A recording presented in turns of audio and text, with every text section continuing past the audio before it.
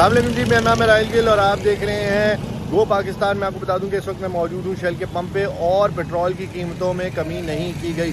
सिर्फ़ light diesel में दस रुपये पर लीटर कमी की गई है। तो हुकूमत ने पाकिस्तान के शहरियों को, पाकिस्तान के लोगों को अप्रैल फूल बना दिया है। फ़र्स्ट अप्रैल को अप्रैल फूल बना दिया है और ऐसी हालत कर दी है पाकिस्तानियों की कि वह, वाकई लाइनों में ही लगने के काबिल रह गए क्योंकि एक्सपो सेंटर में जगह जगह सस्ता फ्रूट, सस्ता आटा, सस्ती चीज़ें, सस्ता बाज़ार लगा हुआ है और वहाँ पे लोग लाइनों में लगे हुए हैं, पागलों की तरह।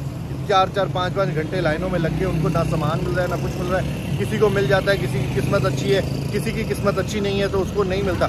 तो क्या कर रहे हैं हम लोग? हम लोग क्या कर रहे हैं? हम लोग बैठे हुए हैं, सिर्फ़ अप्रैल फूल बन रहे हैं। अप्रैल फूल तो चलो, एक महीने में बने ना, अप्रैल फूल। फ़र्स्ट अप्रैल को अप्रैल फूल बना दिया। लेकिन हमारी जो कौम है, वो पूरा साल फूल बन रही है।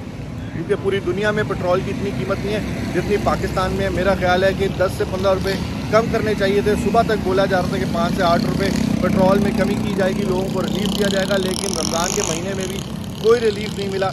हुकूमत नाकाम हो गई रिलीफ देने में।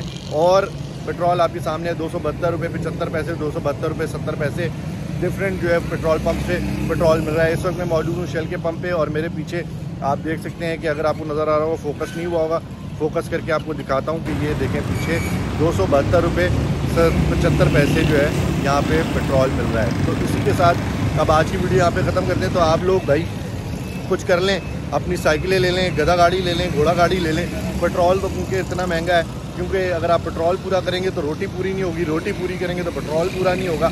लेकिन सिर्फ़ हुकूमत ने आपको लाइनों में लगाना है, जिस तरह से जुम्मा हफ़्ता इतवार तीन दिन, एक्सपो सेंटर में आपको लगाया हुआ लाइनों में कि सस्ता आटा ले लें वहाँ से।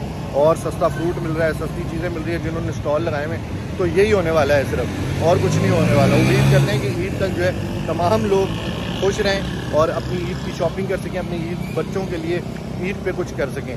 पेट्रोल तो कम हुआ नहीं, बन गए सारे अप्रैल फूल इसी के साथ मुझे इजाज़त दीजिए। जान से पहले आप गो पाकिस्तान को लाइक कर सकते हैं सब्सक्राइब कर सकते हैं शेयर कर सकते हैं। मैं और रायल गिल। खुदाफिज़